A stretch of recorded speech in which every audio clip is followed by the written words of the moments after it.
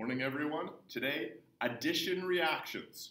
It's our first type of organic reaction. This is addition. You've never heard of it before? It's brand new for us. No problem, though.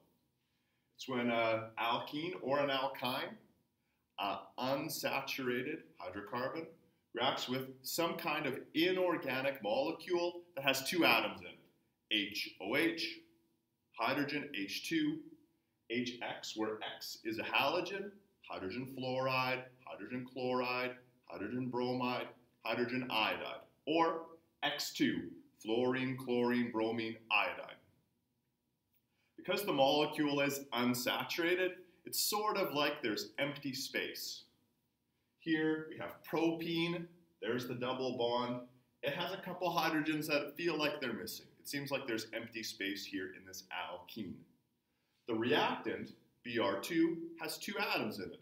There's two empty spots, and this is a reactant with two, two atoms in it, fills that empty space, and the double bond becomes a single bond.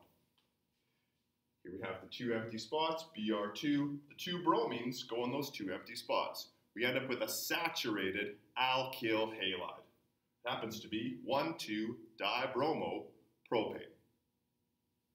We have to be a little bit careful if the inorganic reactant has two different components, H, OH, hydrogen, and some halogen, HF, HCl, HBr, HI, hydrogen iodide.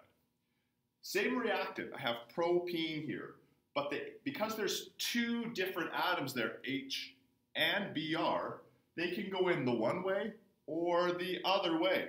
And in fact, we get both. So we end up with two isomers both being produced, and we would need to show them both and even name them both.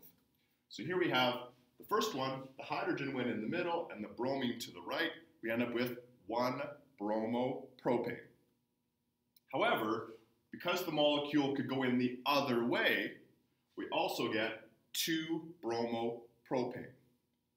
We still end up going from an unsaturated alkene into saturated alkyl halides, but we end up with two isomers, which was not the case here when the two atoms of the inorganic reactant were the same, just one possibility.